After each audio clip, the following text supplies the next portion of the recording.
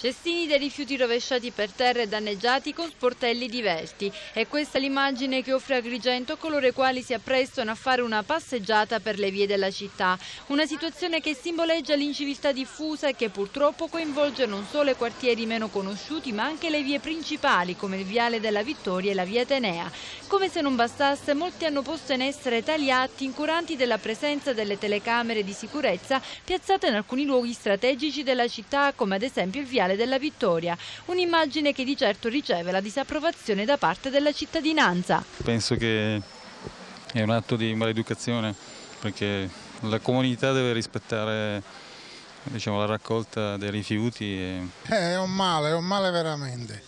E purtroppo che c'è da fare? C'è maleducazione in giro.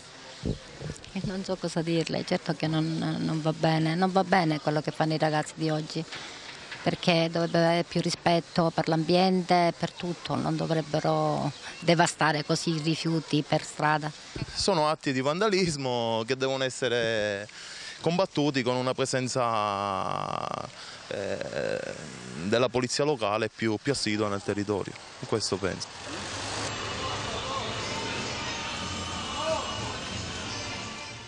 E dal centro città alla zona balneare la situazione non cambia. Come potete vedere anche qui i cestini sono danneggiati. In merito alla possibilità di ripristinare dei nuovi cestini per la raccolta rifiuti abbiamo contattato la Togesa che fa sapere che la ricollocazione dei contenitori è di competenza delle ditte di servizio SEDA e SAP. Già sono in corso le attività di accertamento della quantità di cestini danneggiati per provvedere alla loro ricollocazione ma dalla GESA fanno comunque sapere che l'iter burocratico è abbastanza lungo lungo e come se non bastasse la spesa di acquisto si ripercuoterà sulle tasche dei contribuenti ed allora ciò che si auspica per il futuro è di certo un maggiore buonsenso e un po' di rispetto per l'ambiente.